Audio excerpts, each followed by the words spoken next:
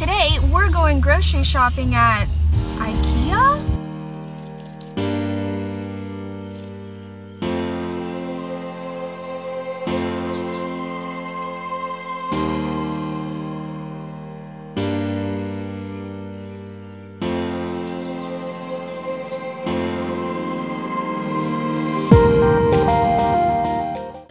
Decided to make a lunch out of our spoils and they didn't have any cheese or meat so we picked that up at our local grocery store and now have created a nice little charcuterie board. Start off with the rye crisp bread. Oh no!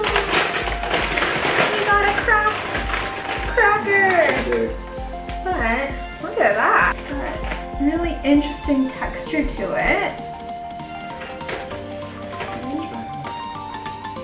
This actually isn't as flavorless as I thought. We will each get half a cracker. I think I want to try the creamed smoked fish roe. So it sort of looks like it's in a toothpaste like tube. Oh yeah. So if you know what imitation crab meat tastes like,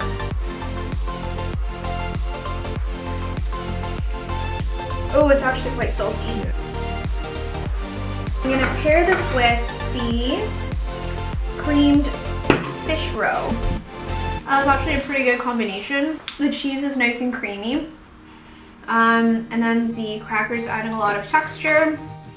And then the fish roe is just adding that bit of fishiness that is actually quite pleasant. Up next, we have the mustard and dill sauce. I I'm going to pair this with the smoked sandwich. It said it was sustainably sourced, so that's always a good thing. So Eric's gonna lay down a bit of the mustard and dill. I'm gonna put this hunkin piece of salmon on top. And that actually looks pretty darn good.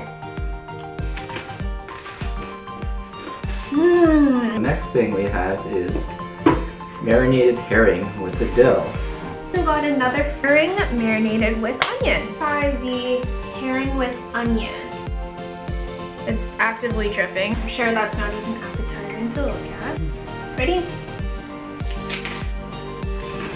That's good. Oh, I like that. The brine that it's marinating in is giving it so much flavor. You've got a bit of acidity, you've got the onion taste. The texture of the herring is soft. I don't think anybody would be weirded out by the by the texture.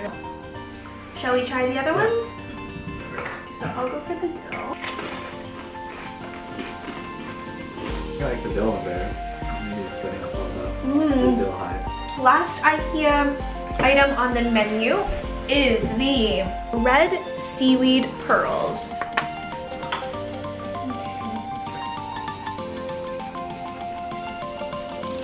Oh, that's a really interesting flavor. In sushi restaurants, add a lot of uh, the roe to their sushis. But this tastes different. It doesn't have a fishy flavor. This is this is good. This just tastes like, it's so hard to describe, but I would say that it just tastes fresh. We're gonna finish up our lunch and we'll come back with some final thoughts.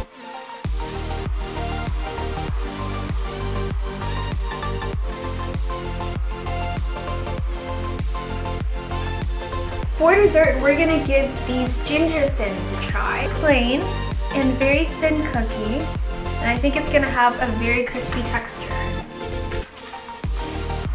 Mmm, this is really good. What was your favorite item that you ate? I think the, the dill herring was my favorite. For me, I really enjoyed the smoked salmon. I thought that was actually really tasty and for Ikea, largely surprising. What was your least favorite item that you ate? The salami because it's most spicy. Oh yeah, this is my least favorite. It, it wasn't offensive. It's a taste to you. It's definitely different. It'll probably grow on. That is our Ikea charcuterie board grocery haul. I hope you enjoyed everything that we showed you today. It has been largely